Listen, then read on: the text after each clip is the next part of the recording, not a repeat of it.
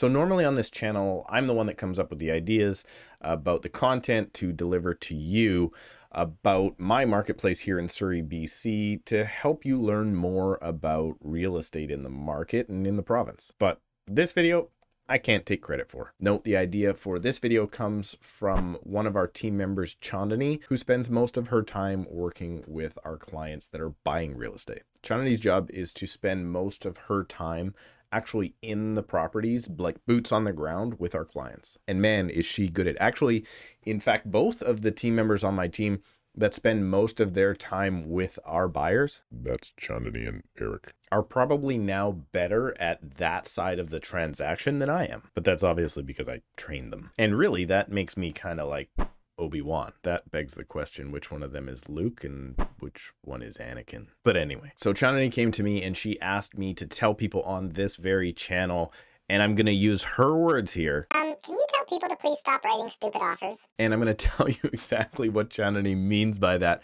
right after I ask you to click the like button. Yes, please click the like button and subscribe. And if you're about to find out that you're a buyer that is making stupid offers out there, you can book a call with me right down below in the description to see if we can fix that for you. But on the other hand, if you're one of the agents out there that's helping clients write these stupid offers and you need a little bit of help explaining that to them, uh, you can apply to my mentorship program right down below in the description as well. And with that out of the way, let's find out what the heck Chandani is talking about in a slightly offensive way.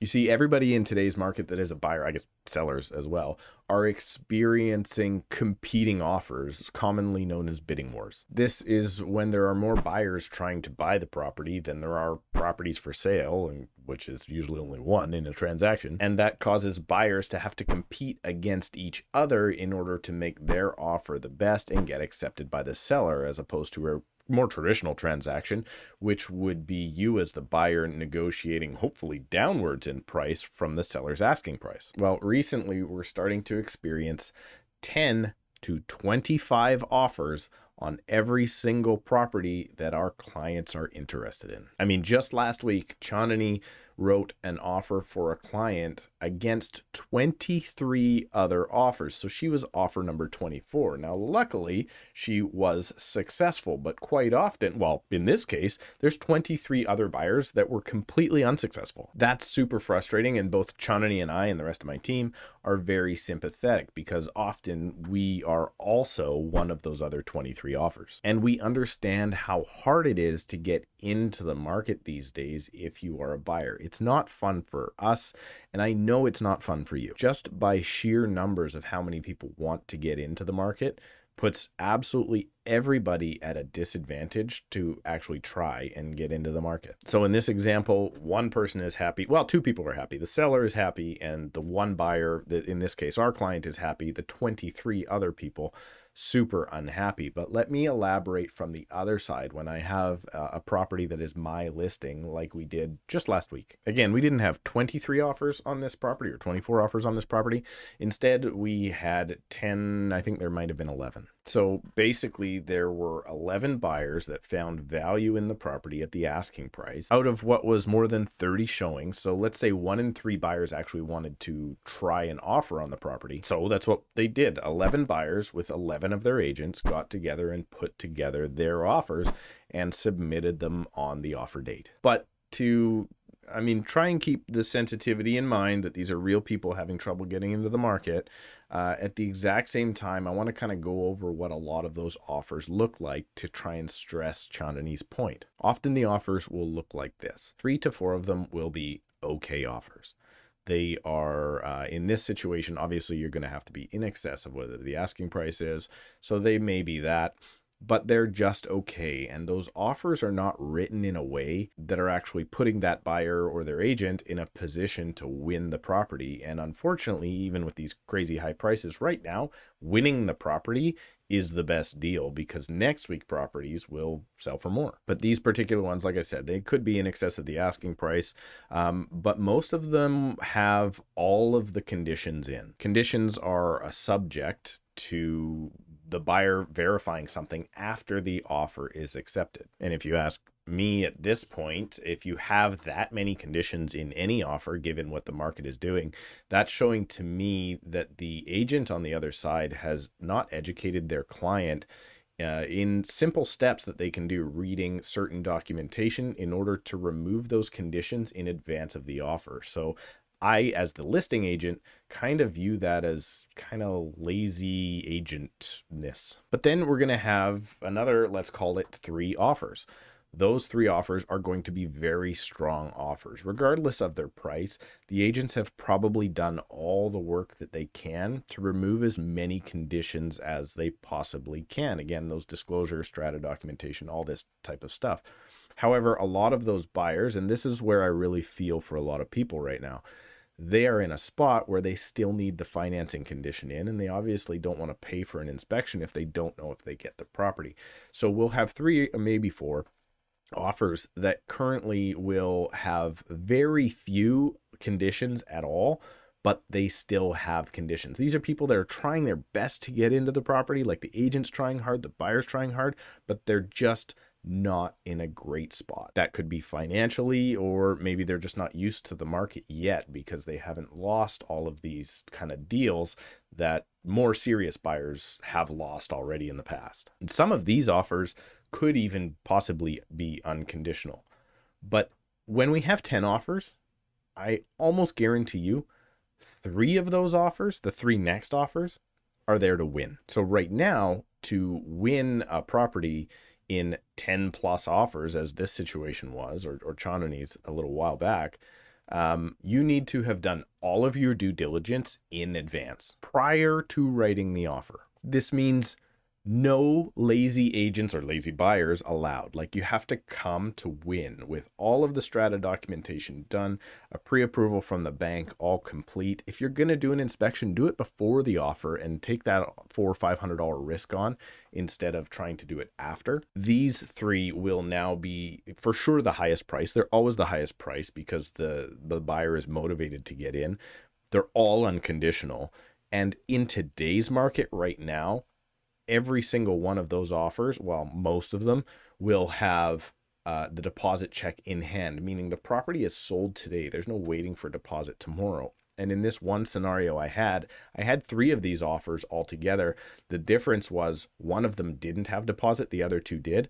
The seller took the one they liked the best out of the one that had deposit. So even if the best best offer still didn't have deposit there, the seller would not have taken it because it wasn't a sure thing that day right now. And that leaves us with one offer left, which is what Chandani refers to as the stupid offer. What?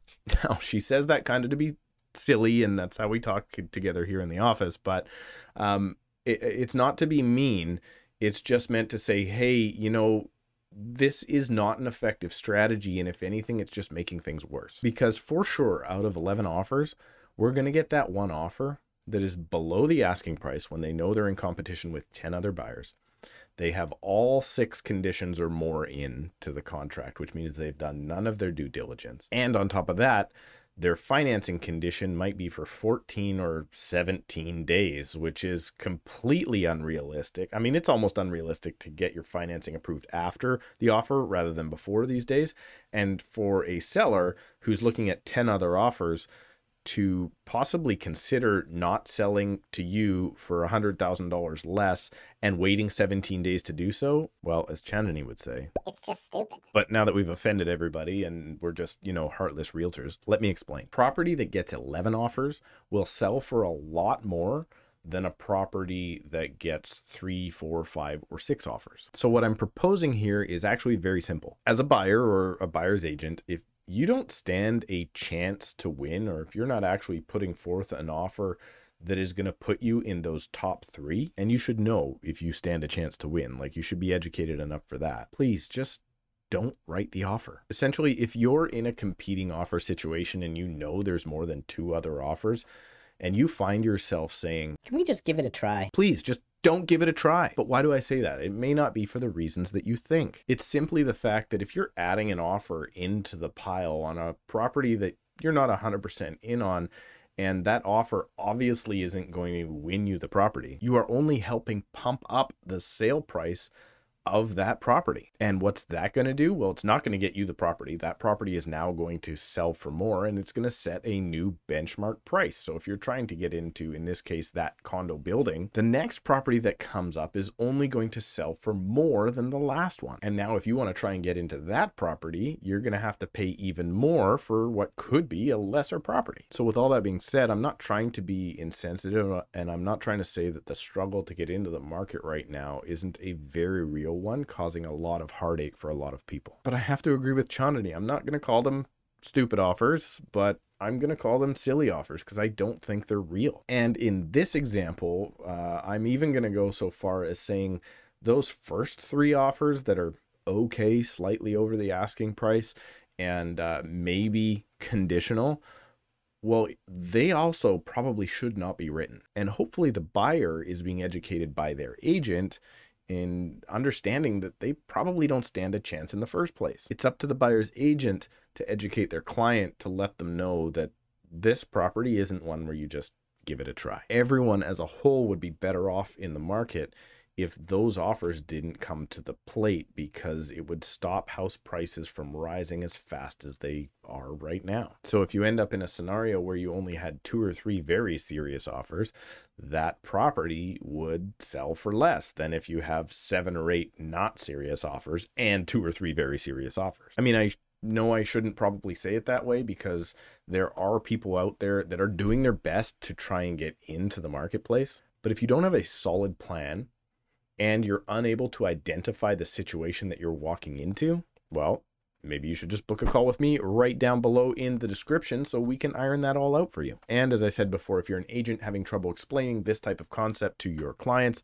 uh, just go ahead and apply to my mentorship program right now so we can try and help you out. My intention here is not to have this be a negative video where I'm, I'm making people feel bad, but I do think that this is a message that needs to get out there to the general public in order to put some sort of self-imposed slowdown as a whole on this crazy market. And before you go, if you could do me a favor and click the like button to help get this message out to more people so we can hopefully try and fix the problem, I would really appreciate it. Make sure you check out my video all about the problem in today's Canadian real estate market, and we'll see you in a couple of days.